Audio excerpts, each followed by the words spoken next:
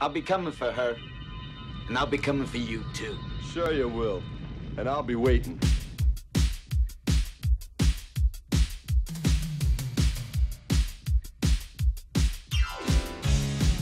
You are about to enter a world unlike any you've ever seen before, where rock and roll is king. The only law is a loaded gun. Where the beautiful, Stay and see the show. It's really good. the brutal, I want Tom Cody. and the brave all meet From now on, it's for real. in Streets of Fire. You're lying in your bed and on a Saturday night you're sweating buckets and it's not even hot. But your brain has got